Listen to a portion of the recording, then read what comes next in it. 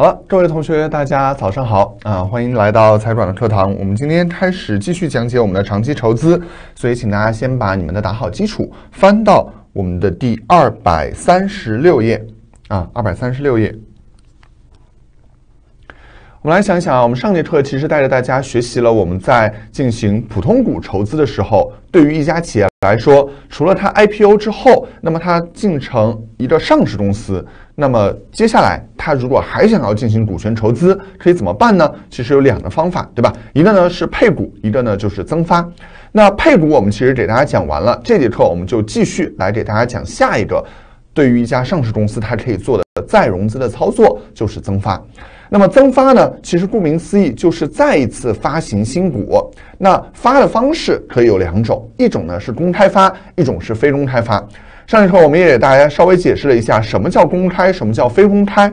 我们更多的看的是实质，而不是形式。所以如果说你向不特定对象进行发行，我们就会认为你就是个公开发行，对吧？那如果你所向的特定对象超过了两百人，那在这种情况下，我们认为实质上也是一个公开发行。所以呢，在这些地方，我们把公开和非公开对于增发这个方式来讲，我们也要进行一下区分。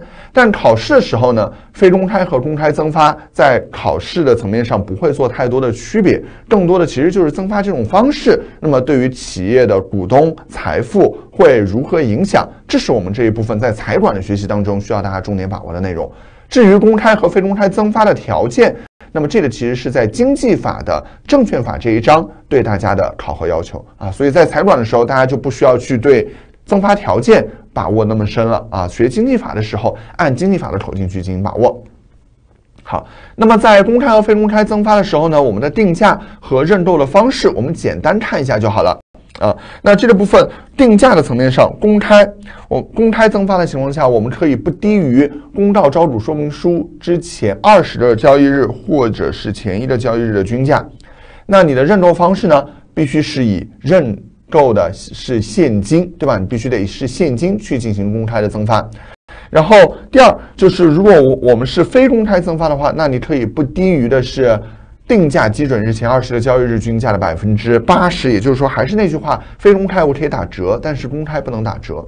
那么交易的时候，你的认购方式可以是现金，也可以是其他的方式，因为你看，这个时候你不是公开增发了，是你跟特定对象去商量。那么你们俩商量下来是用现金交易，还是用股权交易，还是用债权交易，还是用其他的资产交易？那你们俩定。因为非公开的状态，所以它灵活性会更强，所以这是我们所说的定价和认购方式。那么对于股东财富的影响，我们要去区分一下新老股东。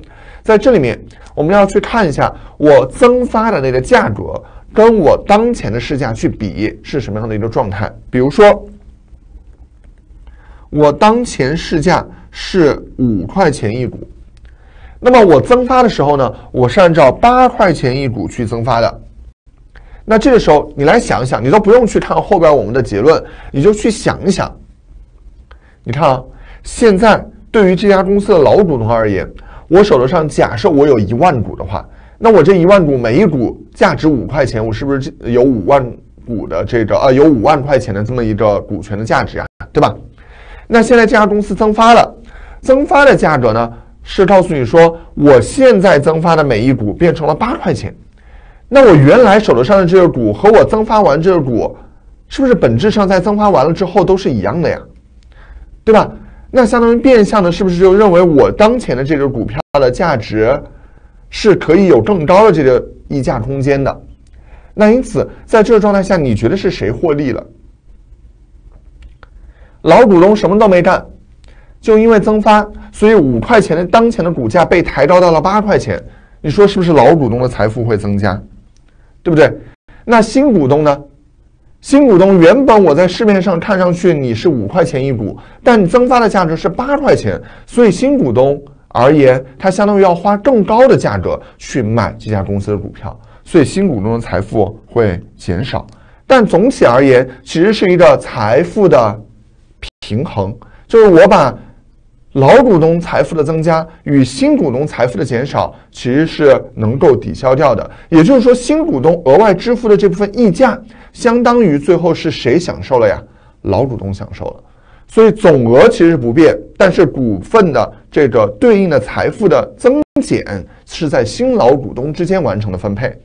那么再想，假设如果我现在的股价是五块钱，但我增发的股价呢是四块钱一股，也就是说，原本我可以是五块钱去卖这个股票，结果你这个公司发行新股的时候，按照比当前市价还低的价格去发行新股，那你说是谁把财富让渡出来了呢？是不是老股东啊？是不是我现在的股东把一部分的财富让渡出来，所以我财富减少了？那让渡给谁了呢？新股东，因为他买新股的时候可以比当前的市价来的更低，那所以他的财富会增加，他买赚了。所以这个地方仍然但是我们的股东总体的财富不变，对于新老股东而言，有一个财富的重新分配。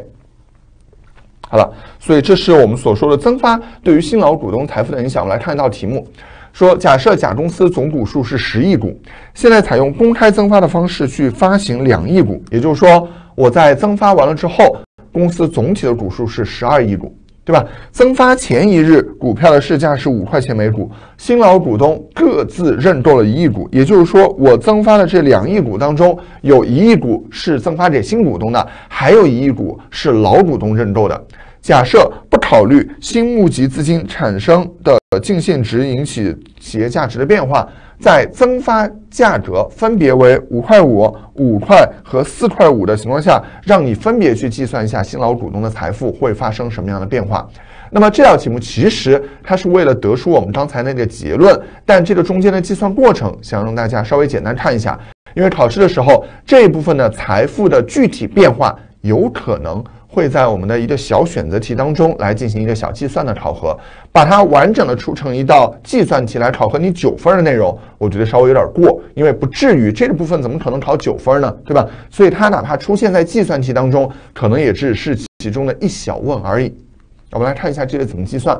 其实计算不难，因为增发价格我们确定了下来之后，比如说啊，这里的第一种情况是我们增发价格是五块五，那么这五块五我们一共筹集了多少资金呢？你来想想，因为我增发的数量已经定了，就两亿股，然后增发的价值也定了五点五块钱每股，那我总共所新筹集到的资金就确定了，就是二乘以五点五，十一亿元。那么在这种情况下，我们整个的企业的股票的总市值是不是就在原有的基础之上额外增加进来了十一个亿啊？对吧？那增发之后的每股的价值我能不能算？这个叫什么？这个你怎么去理解它？这个其实就相当于是我们上节课带着大家去讲的那个配股除权价，在这儿呢，就是我增发之后，理论上我认为我的股价应该是多少？你看啊。怎么算的？跟我们之前所讲的配股除权参照价的计算完全一样。我们上面是什么？上面是股票的那个价值，原来的股票价值是五块钱乘以十亿股，然后我新增加了多少呢？因为增发，我新增加了五块五乘以两亿股，这么多都放到分子上面去，这是我总的股票市值。除以总股数，股数原来是十亿股，现在增加了两亿股，十二亿股了。所以理论上，我增发完成之后的每股价格应该是五点零八三元每股，对吧？这跟我们之前所讲的这个配股的计算方法是不是完全一样啊？一个道理。那在这个基础之上，我们重新去计算新老股东的财富变化，怎么算？还是我们稍微分一下前后，前。之前是配，现在是增发，那就是前增后。然后呢，在这我们不是要算新老股东吗？所以我们来看一下，对于老股东而言和对于新股东而言有什么样的区别？你看，对于老股东而言，我们先看它的股数，它原来啊，或者说我们直接看它的这个呃总的财富吧。你看它原来的股数是多少呢？它原来的股数是十亿股。我们先不用去看一个老股东，我们就把所有的老股东全部都放在一块儿。新老股东是两类股东，老股东原来一共有十亿股，每股是五块钱，所以它的总的财富是十乘以五。增发它需要花多少钱呢？它需要花五块五每股，然后增发，它认购了一亿股，所以它要花负五点五乘以一这么多钱，对不对？那增发之后，它所获得的整整体的财富是多少呢？它一共是十一亿股了，十一亿股去乘以在这儿我们得有一个增发之后的每股价格，对不对？我们得有着增发之后的每股价格。假设这个每股价格我们刚才已经计算出来，就是这个五点零八三，所以乘以五点零八三。那对于新股东而言呢，在他增发之前。他是不是手头上所握着的这家公司的股票应该是零啊？增发的时候他花了多少钱？他跟老股东一样花了五块五乘以认购了一亿股，然后呢，增发之后他所获得的价值是一亿股乘以五点零八三，没问题吧？好了，那新老股东的这个整体的财富我们都已经出现了之后，我们要去计算财富的变化怎么算？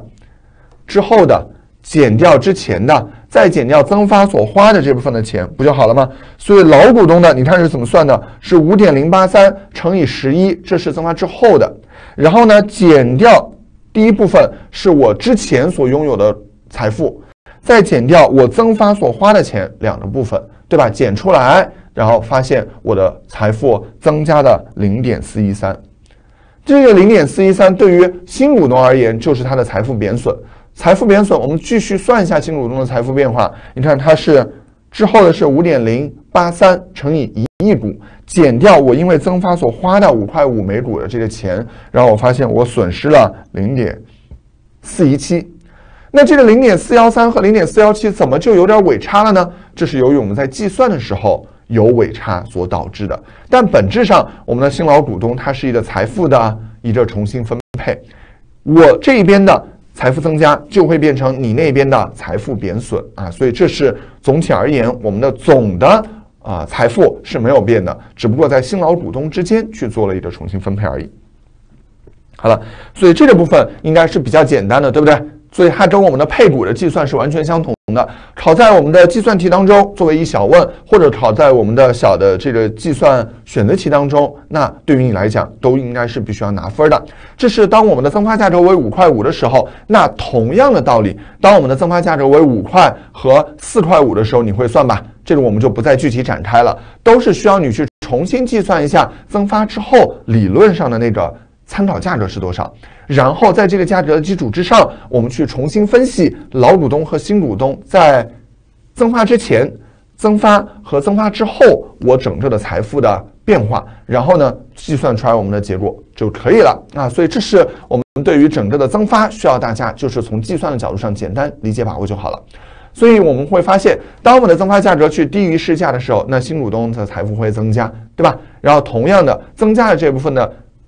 财富其实就是老股东的价值贬损啊，那这是我们所讲的增发。最后我们稍微总结一下，对于股权再融资而言，它对于企业的影响是存在这么几方面的。第一个方面是对于企业的资本结构会产生影响。你想啊，企业本身再融资就是进行了所谓股和债的重新选择，对吧？那么股和债本身它的资本成本是不一样的，所以。权益资本成本原本就是高于债务资本成本的。如果你在这个时候选择了用股权再融资的方式，那么它就会使得你权益的这个成分会加重。权益的成分提高了，那么你的资产负债率是不是就降低了呀？因为权益提高的同时，你的资产会提高，负债不变的情况下，那资产负债率不就降低了吗？对不对？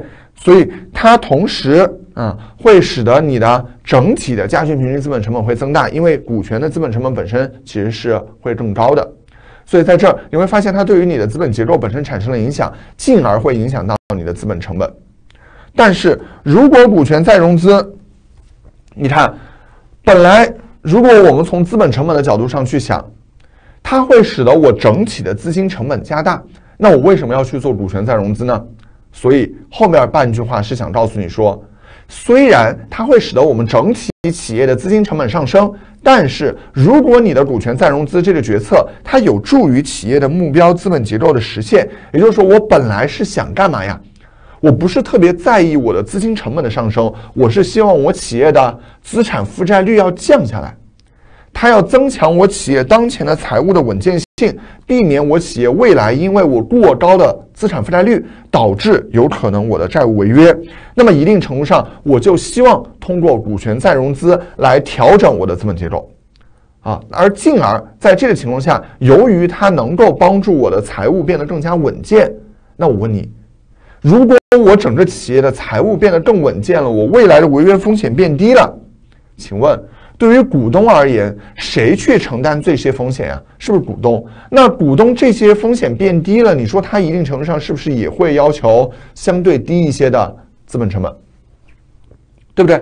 所以这句话是想告诉你说，不要从理论上学东西学死了啊！知识是活的。虽然我们理论上认为权益的资本成本应该是高于债务的资本成本的，但是如果你这个企业现在，他进行股权再融资，你能说服所有的股东，你之所以做这个决策，是为了去实现企业更加稳健的财务水平，是能够降低企业未来的偿债风险，是能够使得企业未来整体的风险能够有更好的管控。那我问你，在这种情况下？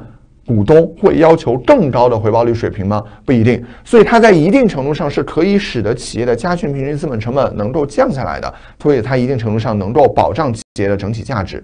所以在这个地方，我们说股权再融资，不要把它一刀切的理解为它一定对于资本结构是什么样的影响啊，在这个企业的不同的情况下，对于企业整体资本结构的影响会有所不同啊。这一部分简单了解就好了。考试的时候对这一块的考察是相对比较少的，只是希望大家在平时。去考虑，比如说你工作实务当中去考虑所谓的找银行借钱呀，还是去通过股权再融资啊？不要把它单纯的用理论一刀切的去把它进行了一个切分。好，那再往下走，我们说除了其实它对于我们的资本结构产生影响了以外呢，它对企业的整体财务状况也会产生影响。这个就跟我们之前所讲的这个解释是一样的。你看，在企业运营和盈利情况不变的情况下。那么，采用股权再融资筹集资金，它会降低企业的财务杠杆水平，就是把你的资产负债率给降下来。那同时，它也降低了你的净资产的报酬率水平。啊，那但是如果企业能够把股权再融资筹集的资金投资到有好前景的项目当中，使得你的这一笔资金，哪怕它的资金成本很高，但是你的那个项目，它的盈利性更好。那么你可以从投资那个项目获得更高的净现值，那么它还是可以去改善你企业的资本结构，降低资本成本，增加企业价值的。所以这是从两个方面去考虑的。第一个方面，你看啊，第一个方面，我通过股权再融资是要去降低企业整体的财务风险，对吧？能不能理解？我在这里通过股权再融资，整体的目标是为了把我企业的整体财务风险给降下来，是为了增加企业的财务稳健性。所以在这个角度上，那股东不一定会要求那么高的回报率水平，因为你对企业整体是有利的，它降低了我股东层面上最终承担的风险，所以它稳能稳定企业的整体价值，甚至于降低我的加权平均资本成本。那接下来我们的这一部分，其实想告诉你的是，我把这部分钱融来了。我现在考虑的不是说这个融资方式本身，我考虑是这个钱融来了之后我拿去干嘛？我考虑是投资这个环节。那我是把这笔股权再融资的钱投到了一个特别好的项目当中去，而这个项目它可以帮助我成倍的把钱赚回来。那这个时候，它同样可以使得，哎，我给你这笔钱的股东可以要求一个相对。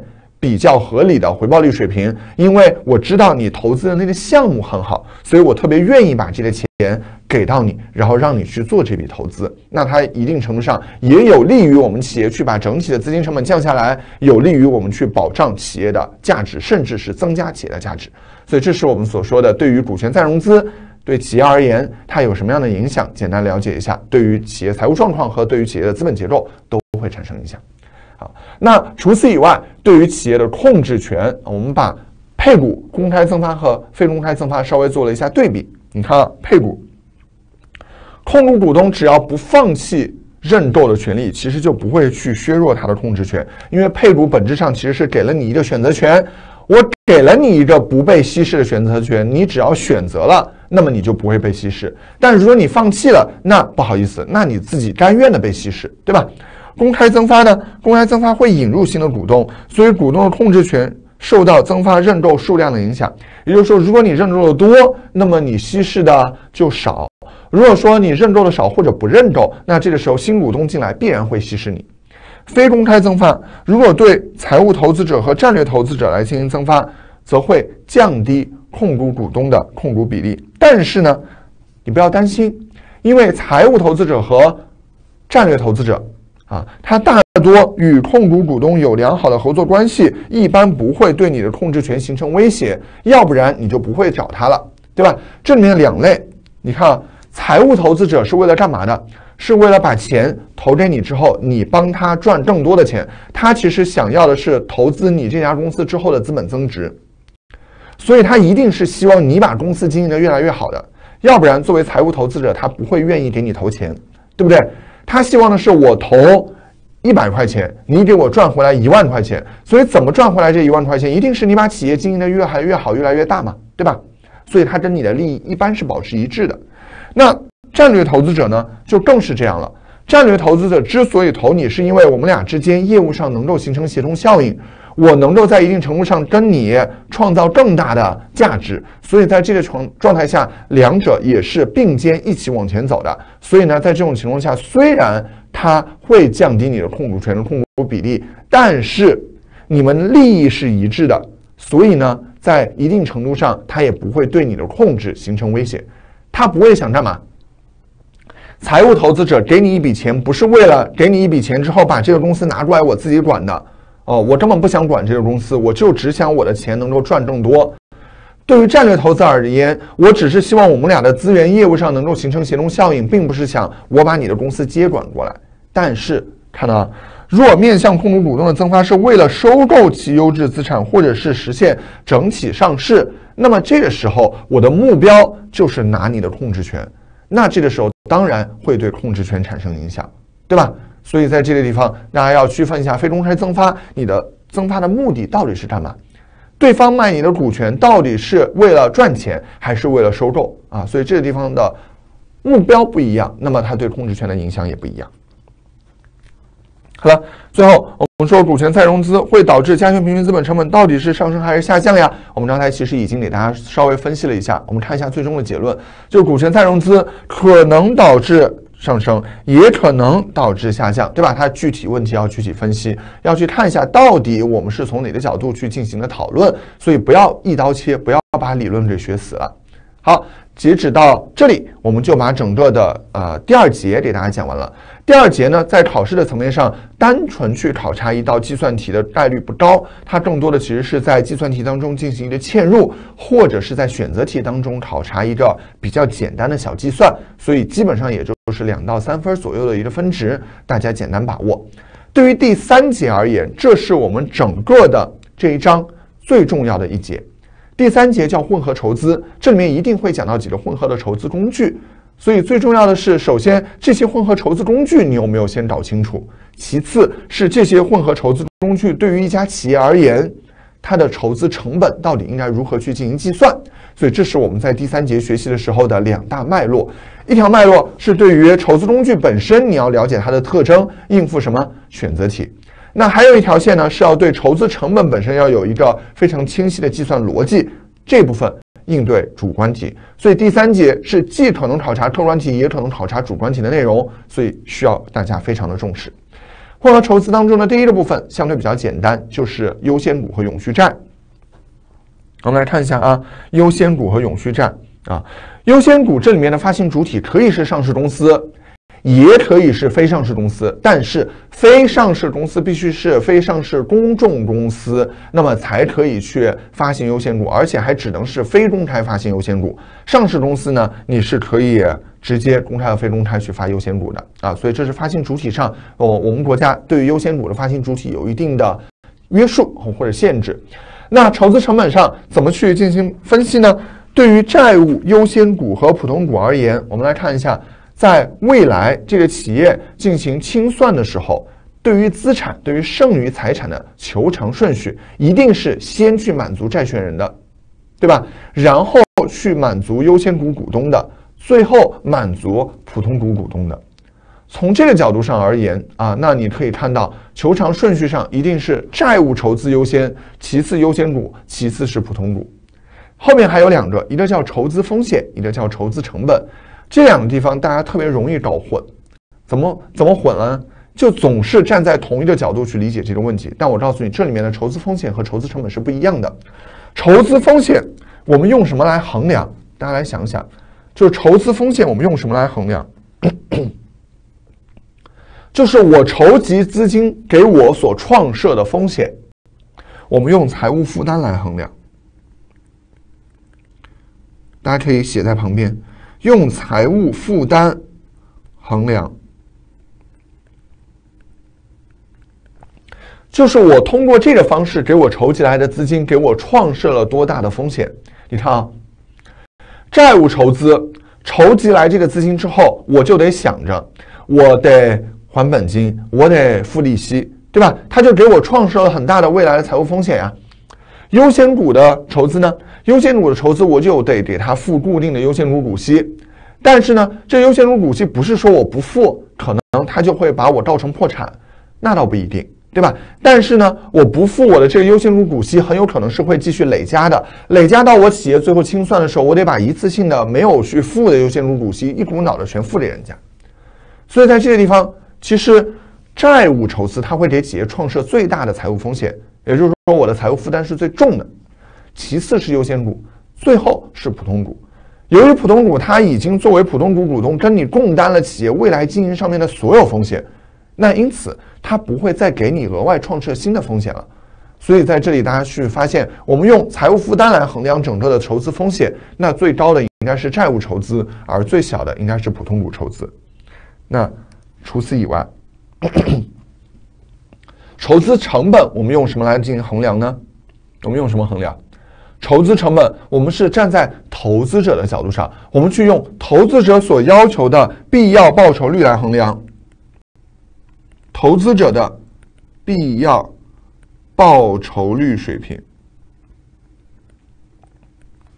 那你来想了，在这里面谁最终承担的风险最大呀？站在投资者的角度上，那一定是普通股股东嘛，对吧？未来你这企业所有的经营风险、所有的财务风险，最后是不是都是我普通股股东来担着？所以我担的风险最高，那我要求的必要报酬率就越大，那因此我的筹资成本就会越高。所以对于这里面的筹资成本而言，最小的应该是债权人，其次是优先股股东，最后是普通股股东，他的啊要求的必要报酬率最高。对于企业而言，筹资成本最大。好了。有的人说，普通股都不发股利，有啥成本啊？你想一想，普通股就是因为股利都不给你发，你成本不才高吗？现在是作为你的投资者而言，你想一想，筹资成本，我们先换到投资者的角度上，投资者的角度上，你都可以不给他发股利，他风险高不？你未来的所有的还不上钱的风险，最后就会导致我股东把钱投进去了，一分钱都拿不回来。我风险高不？我风险很高。那所以在这种情况下，我所要求的回报率水平就会比债权要高很多。债权人对于银行，他借给你钱，他可以只要求一个百分之五的利息率水平；但对于股东，我对你的诉求可不是百分之五，我要求的是百分之二十的回报率水平。所以。未来，如果你真的要去给股东分红的情况下，未来当你企业真的要有剩余财产要给股东去进行分配的情况下，你分配给股东的那一部分，要比分配给银行的多得多。那你为什么要给他分这么多呀？就是因为他担的风险高啊。所以这些其实是对于我们企业而言，在筹资的时候，我们必须要去考虑的。啊，那这是我们所说的优先股的筹资成本怎么去进行比较？它其实就夹在债和股中间。你要注意啊，这张表其实我们最终想让大家理解的就是优先股，它其实是处在债和股中间的一个方式。啊，那优先股筹资的优缺点，优点就是跟债券相比，不支付股利不会导致公司的破产。也没有所谓的到期期限，不需要去偿还所谓的本金。跟普通股相比呢，发行优先股一般不会去稀释掉股呃股东的权益。那缺点有很多，缺点第一个就是它跟我们所说的债不一样，优先股的股利不能税前扣除。那投资者呢所购买的优先股的股利呢，一定程度上又是可以免税的啊，所以它有有税收劣势，又有税收优势，两者如果可以相互抵消的话，那么就会使得我们的优先股的股息率跟债券的利率基本上是趋于一致的，所以你会发现这两者在所谓的利率水平上不会差太多。啊，所以这就是由于它既有税收优势又有税收劣势，两者一定程度上抵消了之后，它最后所体现出来跟债是非常类似的。所以我们经常说优先股它是名股实债啊，它整体跟债非常非常的像。那提示，按照金融工具准则，我们的优先股有可能被划分为。金融负债也有可能被划分为权益工具，在财转当中，我们不会去考察金融负债和权益工具的划分，但是会计当中，你如果把这份优先股划分为了什么，在财转当中，我们就按照什么原则来进行处理。如果我们在会计当中按照金融工具准则把这一份优先股的合同分类为了金融负债，那么在我们的财转当中就要把它当做债来进行处理。按照债来进行处理的特点是什么？利息可以抵税，所以如果它被分类为了金融负债，你要千万注意，题目当中如果告诉你它是金融负债，那么优先股的股利是可以税前抵扣的。如果说它在我们的分类当中被分类为了权益工具，那么它的股利是不可以税前抵扣的。所以这个地方是我们在去年教材当中进行了一个小的。补充，那这个补充非非常重要，因为它会直接影响到我们题目的计算，所以在考试的时候千万注意清楚，如果给了你优先股这样的工具，看清楚题目它是怎么给你做分类的。然后第三就是我们这里的优先股的股利通常被设定为是固定成本，那跟我们前面所讲的债的利息是一样的，它对于企业而言会创设固定的财务负担。啊，所以这是我们所说的优先股的几个优缺点。永续债是一模一样的东西，所以我们为什么在讲优先股的时候，一般情况下都会把永续债跟在后边，就是因为它俩基本上是完全类似的。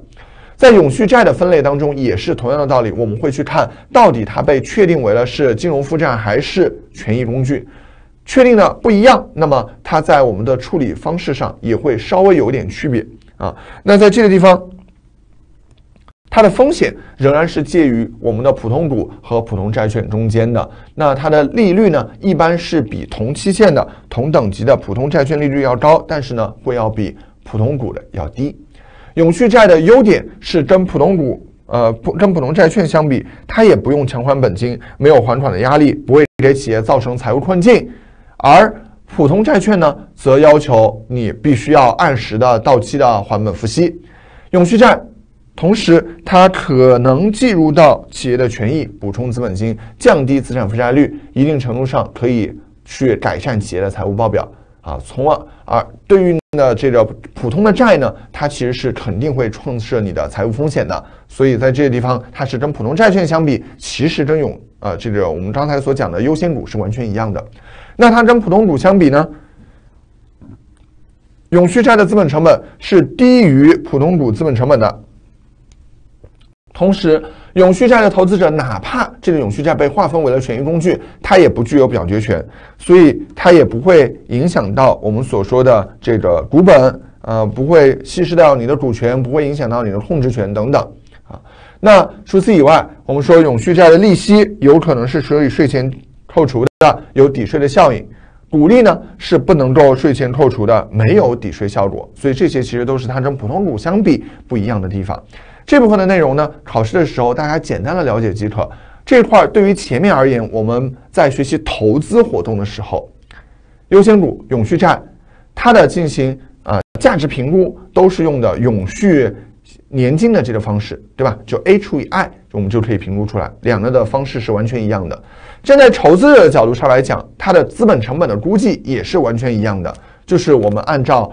同样的道理去看，那它在我们的普通债和普通股中间夹着，对吧？它一定是高于我们的普通债券，一定是低于我们的普通股的资本成本啊。所以这个啊，它的位置你把它把握清楚，然后作为这么一个工具，它的特点简单了解，能够应付选择题即可。考试的时候主观题几乎不可能会涉及到。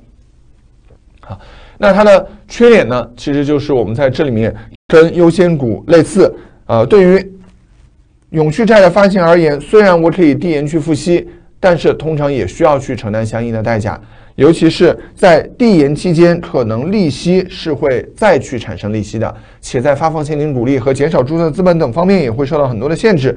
因此，因永续债呃混合了债务和权益的属性，导致投资者对其定位不清晰，呃，以至于它的流通性比较差，变现能力比较弱。所以，这是我们所说的，对于一个工具而言，由于它的性质不太清楚，所以在市场上它的流通性肯定是没有普通的债券和。普通股要来的好的啊，所以这是我们所说它的缺点，也是简单了解就好了。好了，前面的这部分的内容大家听了啊就过了，考试的时候通过我们课后做几道练习题，大概把握一下就可以。关键问题来了，今天的第一个最重要的内容，负认股权证的债券筹资，这个东西呢是什么？首先我们要把它给定性清楚。首先，它叫负认股权证债券。你不要把它觉得是一个特别复杂、高大上的东西，它就是两个东西的一个组合，它就是一个组合装。你看，它叫负认股权证的债券，所以它本质上，我问你，它是个什么？它的本质是个啥？负认股权证的债券的本质是个什么？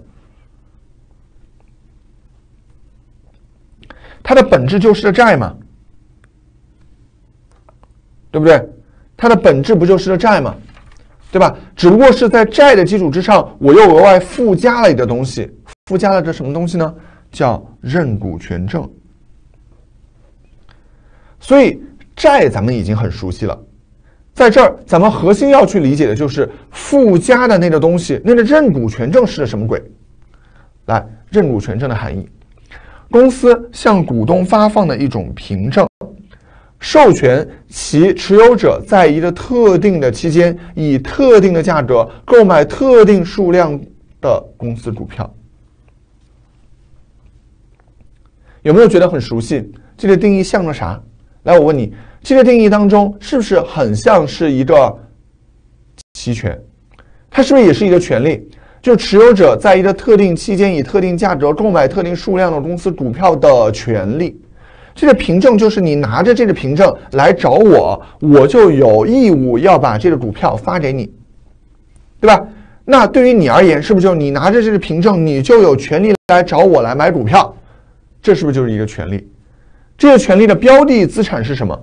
这家公司的股票有没有执行价格？有，特定价格有没有执行期间？有，在一个特定期间，对吧？所以在这儿，它就是一个期权，它本质上就是一个期权。那我们来看一下，它是个什么期权？是个看涨期权，因为它是购买资产的权利，对吧？所以它是个看涨期权。相同点，均以股票为标的资产，价格或者价值是随着我们的股票而进行变动的。均在到期前可以选择执行或者不执行，它本质上都是一个选择权，都有一个固定的执行价格，这就是满足了我们所说的期权的条件嘛。接下来。来看一看区别，关键不是这里的相同点啊，相同点大家都知道，关键是这里的区别。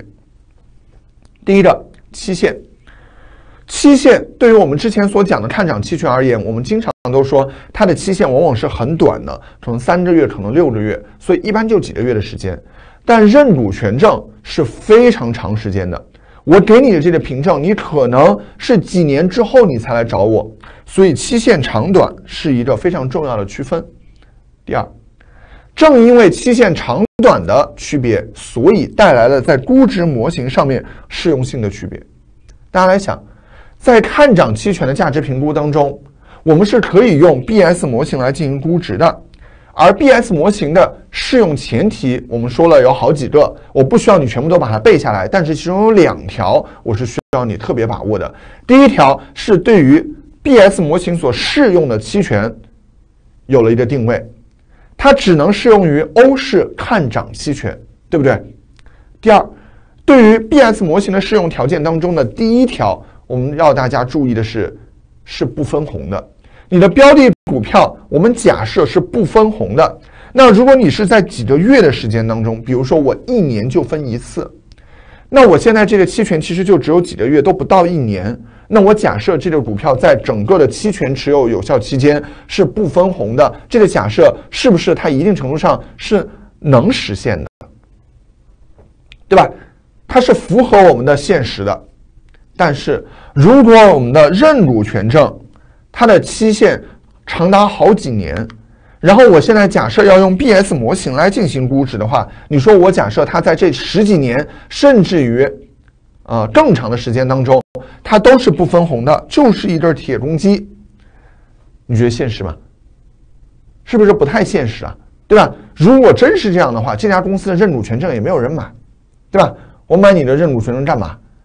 你这个公司从来就不分红，十几年也不分一次，要不然就是你业绩太差，要不然就是你啊，这个这个不愿意不愿意分红啊，这个这个铁公鸡一个。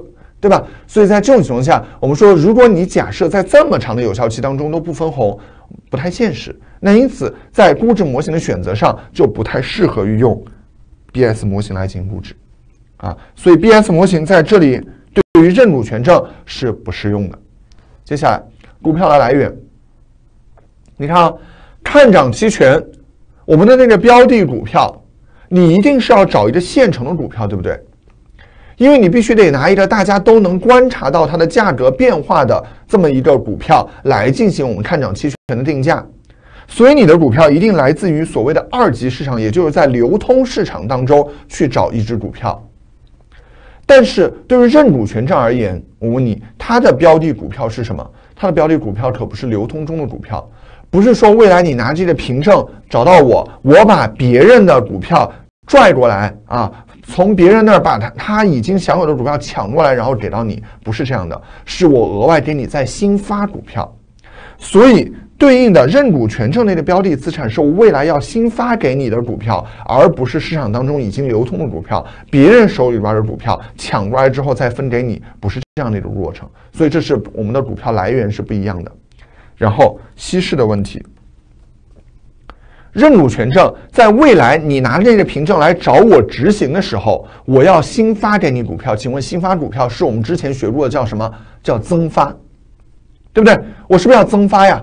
那我增发是不是就会带来每股收益和股权的稀释啊？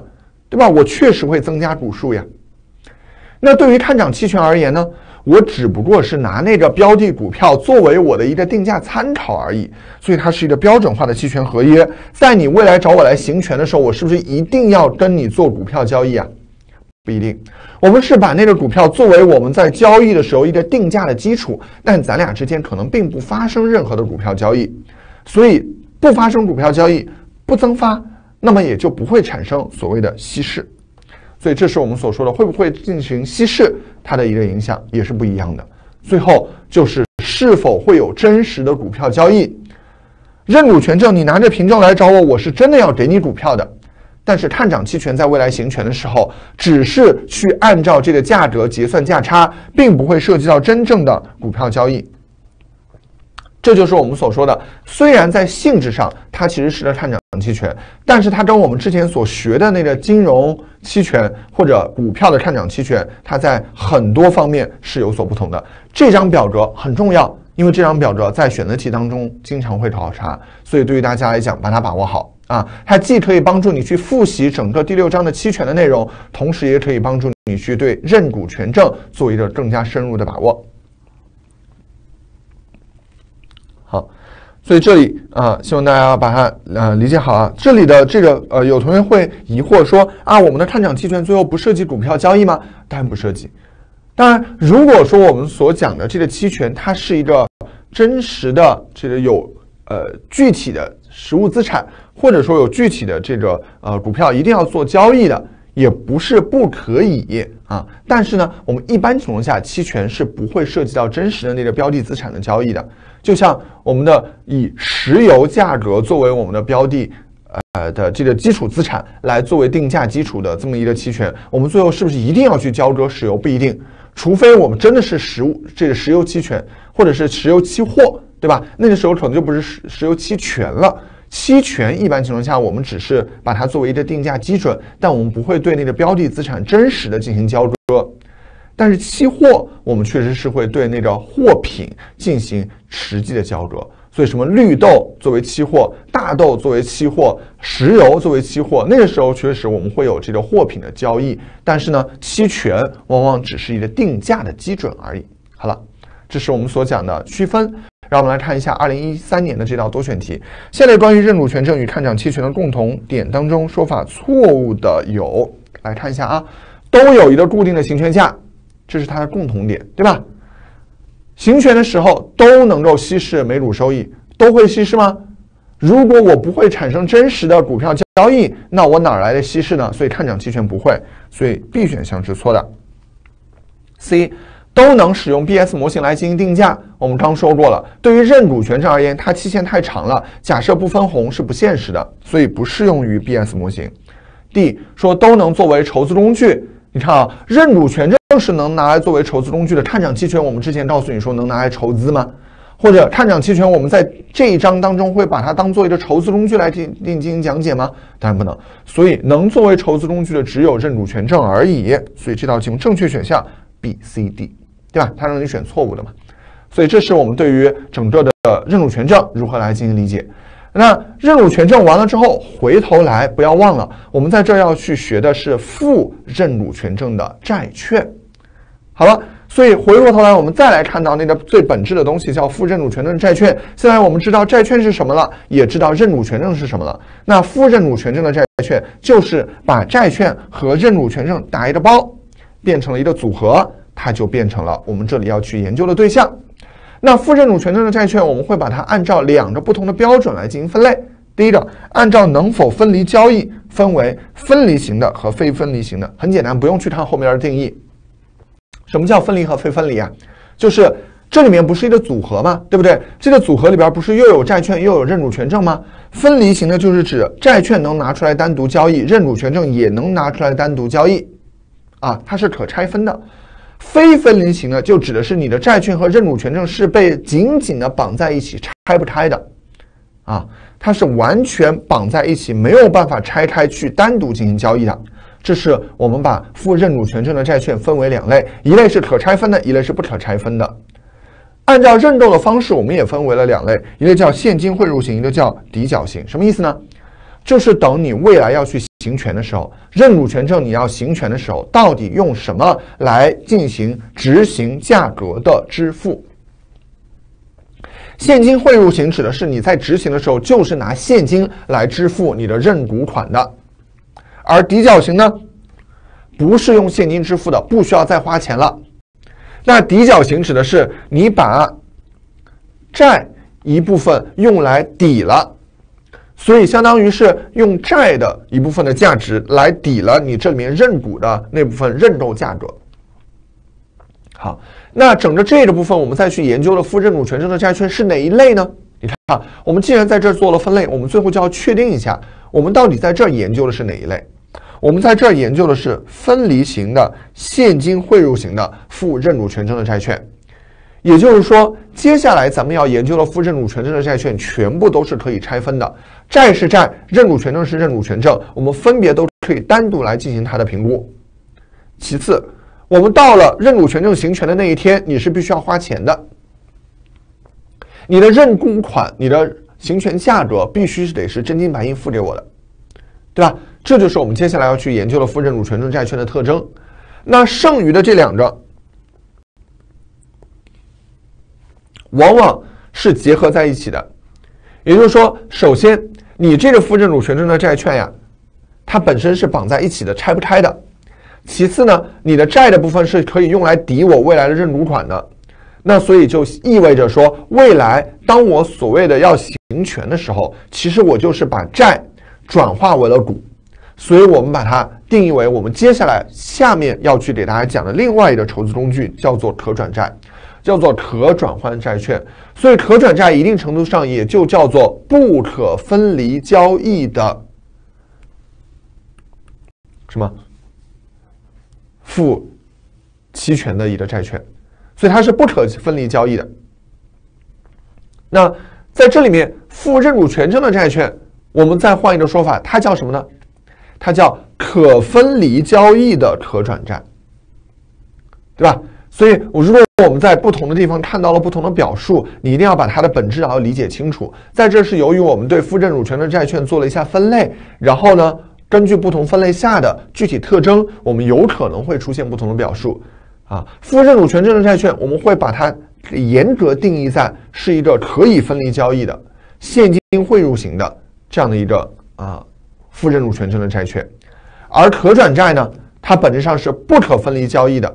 抵缴型的一个债券，所以负认主权证的债券也可以被称之为叫做可分离交易的可转债啊。所以在这这有好几个概念比较容易混，考试的时候万一它要出现了不同的表述，大家不要这个懵了，对吧？它不管出现任何的表述，希希望你都能透过它那个表述的形式，看到它背后的本质是什么，到底它在讲的是我们。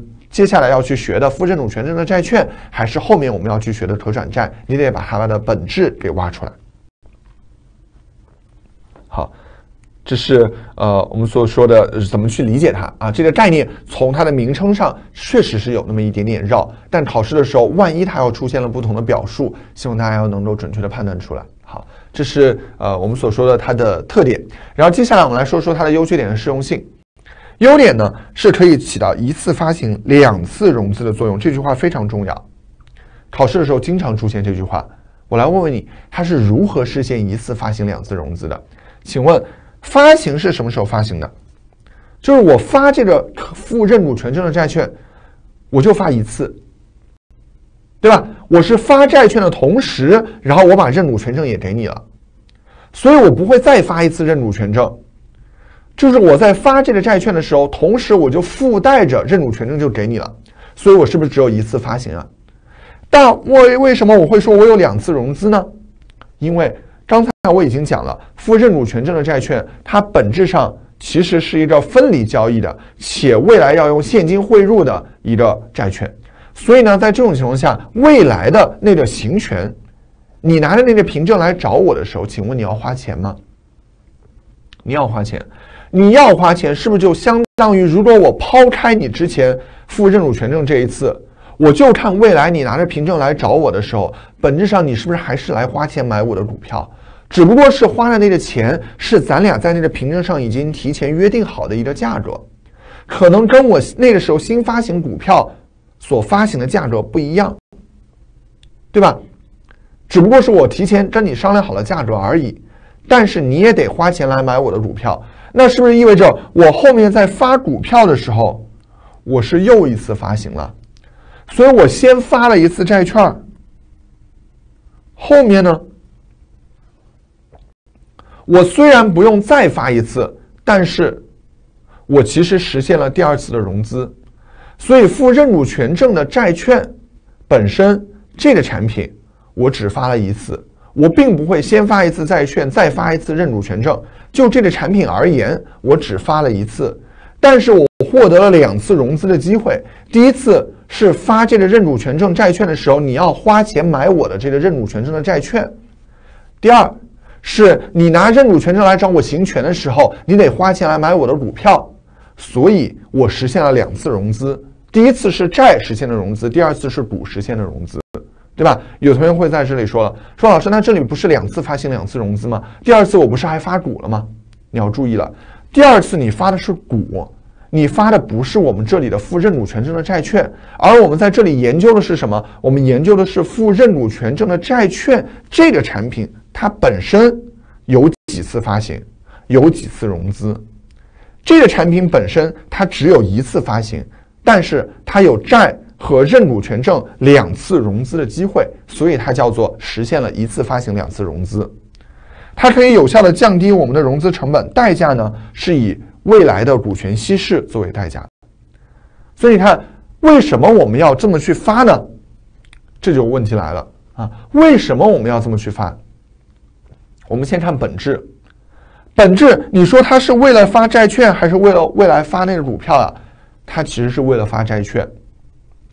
但是呢，他如果直接去发债券，发不出去，没有人愿意买，所以这个时候我为了干嘛呢？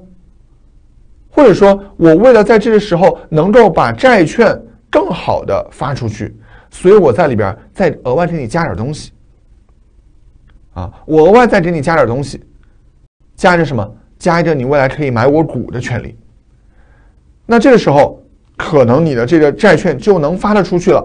而且由于我给你附带了一个未来你可以买我股的权利，所以我可以以相对更低的成本来发行这个债券。所以我可以以相对更低的成本来发行这个债券。那我来问问大家，假设我市面上普通的债券的利率是百分之五，我发付认股权证债券的时候，我的利率假设我可以定到百分之三点五，有没有同学会产生疑惑？之前咱们不是已经讲了吗？混合筹资工具，无论是优先股呀、永续债呀，还有包括我们这里面的负认股权证的债券呀、后面的可转债啊等等，它都应该是比我的普通债券风险要高，比我的普通股风险要低，所以它的筹资成本应该夹在我两者之间呀。那现在我的普通债只有百分之五，有百分之五的利息，而我这里面的负认股权证的债券，我只有百分之三点五的利息，那看上去不是我的筹资成本更低了吗？这里的本质不也是以更低的成本去发行债券吗？那负认股权证的债券怎么它的筹资成本还会高呢？高在哪儿？高在哪儿？高在未来，你附带这个期权，未来也是有成本的。你这个是以未来的股权稀释作为一个代价来发行的债券，所以这部分的代价你能不考虑进去吗？这个代价你要放在整个的这个工具当中来予以考虑。你要看整体的代价，而不能只看债的那一小部分它的票面利率。所以这个是我们要有的一个基本的理念啊。这个部分我们后面还会去讲具体的计算，但在这儿大家要先有一个理念。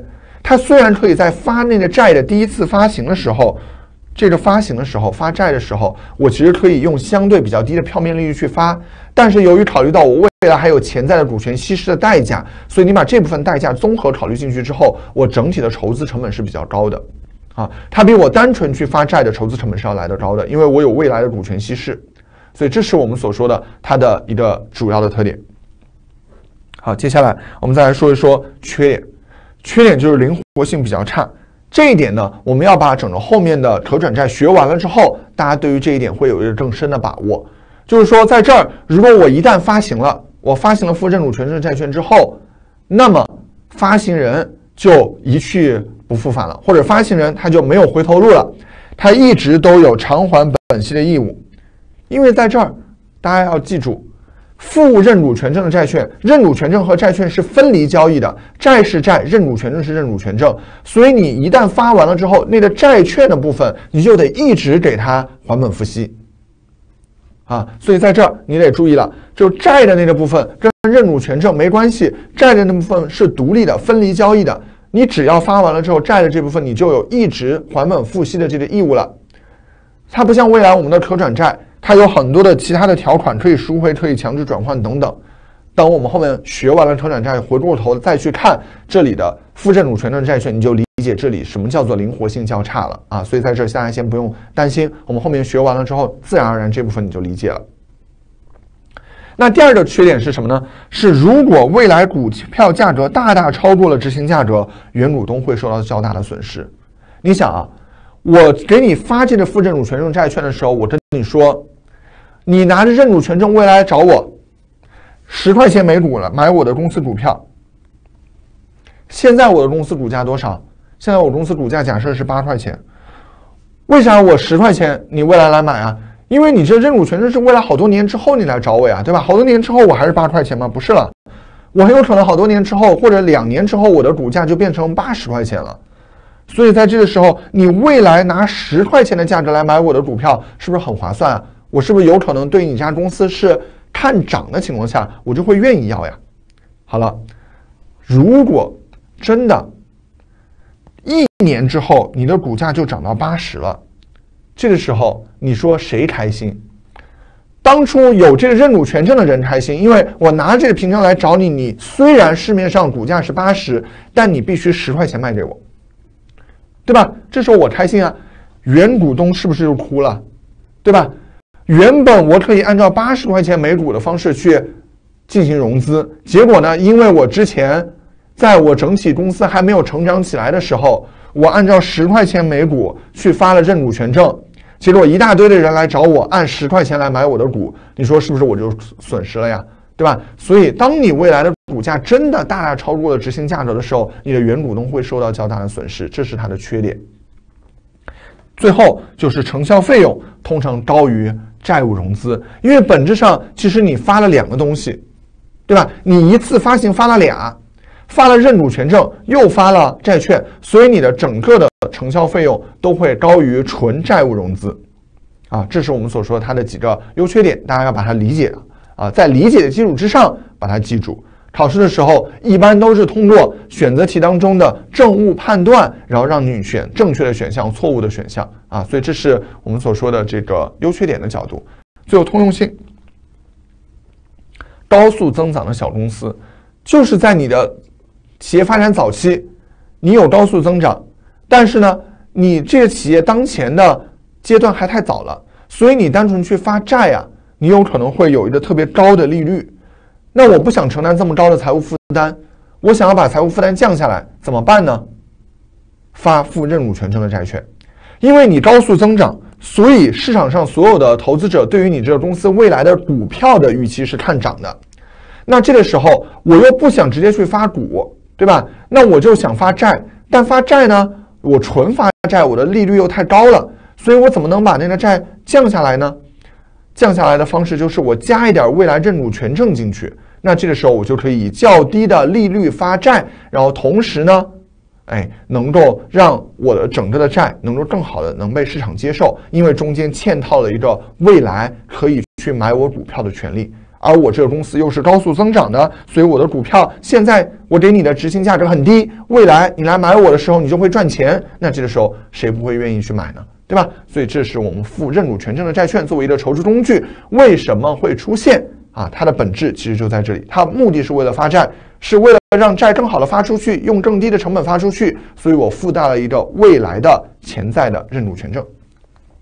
好了，那这就是我们整个对于认主权证，大家先有一个理解；负认主权证的债券有一个理解。接下来我们稍微休息十分钟，等到十点十分的时候回来，我们来带着大家来学习对于这个筹资工具如何分析它的筹资成本。